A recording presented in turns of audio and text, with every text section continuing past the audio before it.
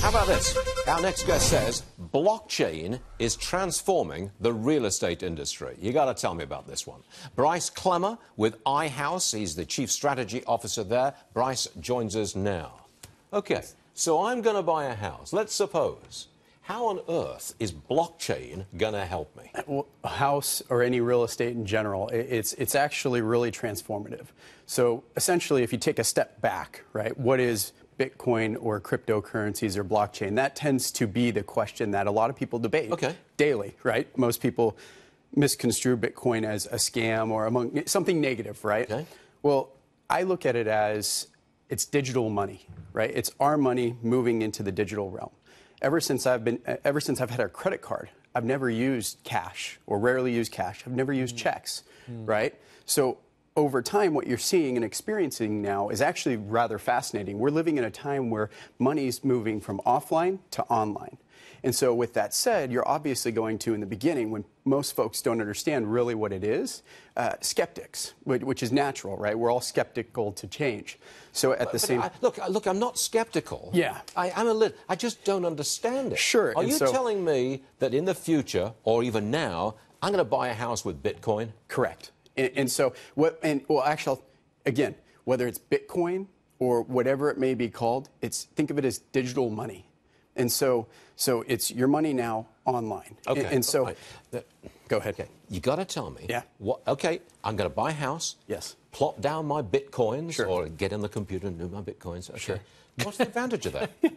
Well, so, so the advantage of it is, and so in this case, so iHouse.com, what, what it does is it makes not just your home liquid, but it, it opens up an opportunity for anyone around the world to buy into just real estate, right? So traditionally speaking, whether it was a home, most folks had to uh, save up a lot of money to make a down payment. Or if uh, you really like the, the real estate market over in Japan, as you referenced Japan earlier, and, and how they tend to be at the cutting edge of things, you can ultimately buy a share of it. You no longer, so if you want to think of long term investments, among other things, this platform allows anyone in the world to start to buy into those types of uh, things. So, if I'm buying a house in Yes. America, Yes. and I put down my bitcoins, which, by the way, I haven't a clue what the value is because it goes up and down all over the place. Sure. You know, you Yes, get my point. of course. You're telling me that somebody in Japan Right. can take a piece of my action, take a piece of my investment in my house. Not necessarily your house. So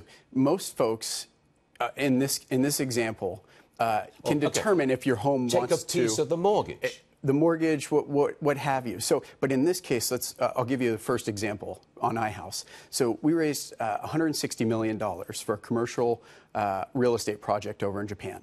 Uh, ultimately, folks from around the world were able to uh, determine that there was a large opportunity. Uh, developers said, "Hey, you know, I want to develop this luxury resort." Raising capital, he put it on the platform, and people, whether it's individuals or inst- uh, real estate institutions, saw that and said, you know, I'd like to buy up to 49% of it. And so he still maintained control, but it was a way for him to raise money and not be limited to going out and finding large institutions to raise capital And from. it was the Bitcoin, uh, sorry, it was the blockchain technology Yes. which you employ, Yes. which allowed that factoring, essentially, of the investment. Exactly, exactly. And how many times have you done this? Uh, that was the first one. Now we're rolling out, uh, actually globally, pending you know regulation in some uh, some specific countries.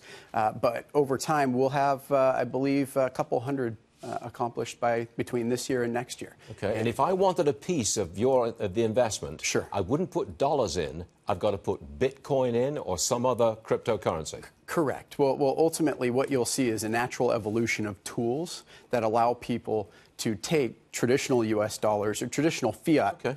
And and Look, yeah, I understand you. Yeah. I think you're way out in front of everybody Sure, else, and that's sure. a fact. And that's why you're on the show, isn't it? Because you really want iHouse.com to get some publicity. Eh, Well, fair enough. But at the same time, well, it's game changing, right? It, it makes real estate uh, traditionally an illiquid asset liquid. Okay. It's very interesting. I think I understood it. I think you Well, did there's too. a An breakthrough. old guy like myself. That's a breakthrough. Well, well, it, I don't believe you. Well, think, of- well, think of it, right? On Airbnb. Time's up. You've had your three minutes. Come on, come on, come on. You were great. Bryce, you're all right. Thanks so much indeed. All right. I, I, I- fascinating, I, I got to say.